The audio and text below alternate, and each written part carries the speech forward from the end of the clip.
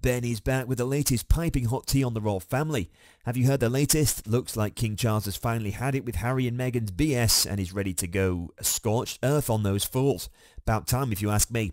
So now before we start, let's recap for a sec. Ever since Harry and Meghan ditched their royal duties and moved to LA, they've done nothing but talk trash about the royals. They've lobbed one nasty accusation after another in interviews and their silly Netflix show. Racism, cruelty, jealousy, they've thrown every shade in the book at Charles and the Queen. Absolutely bonkers behaviour from those two. Meanwhile, the royal family has kept quiet this whole time. Charles has never directly responded to any of Harry and Meghan's wild allegations. The palace spokespeople just issue vague statements like recollections may vary and carry on with their duties. Gotta respect the dignified silence. Very classy. But it looks like Charles has finally had enough. After all the Meghan and Harry dramatics, he's ready to go scorched earth. No more Mr. Nice King.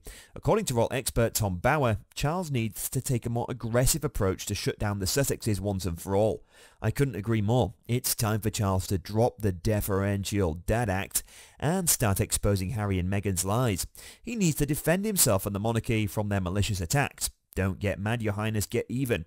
What could an aggressive approach from Charles look like? Oh, I'm excited. Just thinking about it. He could really embarrass Harry and Meghan by revealing some inconvenient truths. For example, remember when Harry arrogantly claimed the Queen supported naming their daughter Lilibet? Charles could leak proof she actually hated the idea. Boom. Harry's a liar. Or Charles could confirm that little Archie doesn't have a royal title because that was Harry and Meghan's decision, not the family's. There goes another victimhood claim down the drain. He could even pull back the curtain on Meghan's awful bullying behaviour that made royal staff quit.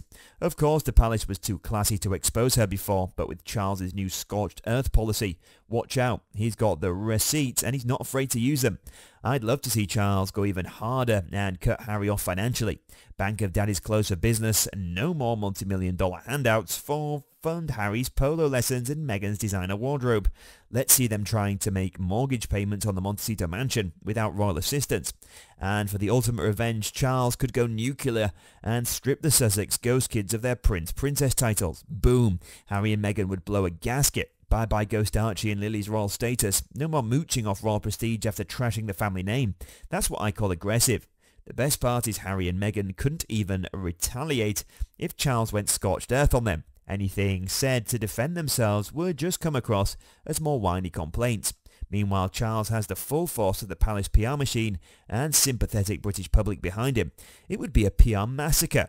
Charles has all the leverage here. Time to stop playing nice and start exposing the Sussex lies for what they are. Straight up BS. I'm ready for some epic royal family tea spilling. Let's do this, your majesty. Enough with the stiff upper lip. Bring on the drama. What do you guys think? Should King Charles stay dignified or get aggressive with Harry and Meghan? Does he even have the guts to go scorched earth on his son? Leave your predictions in the comments and don't forget to like and subscribe. Stay tuned for more juicy growth gossip. Catch you next time.